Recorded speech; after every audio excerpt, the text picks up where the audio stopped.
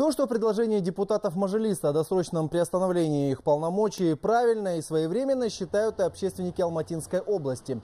По их мнению, выборы в Нижнюю палату нужно провести как можно скорее, чтобы новый парламент мог в кратчайшие сроки приступить к законотворческой деятельности.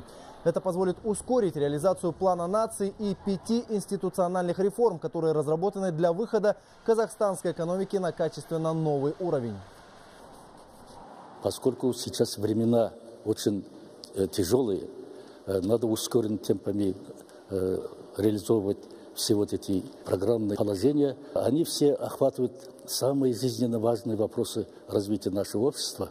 И поскольку ускоряется время, ускоряются процессы, необходимо поспевать за ними и принимать новые законы. Поддерживаю то, что депутаты парламента предлагают провести выборы парламента и местные маслихаты одновременно. Прежде всего, это в условиях мирового кризиса экономика каждой копейки для нужд нашего населения.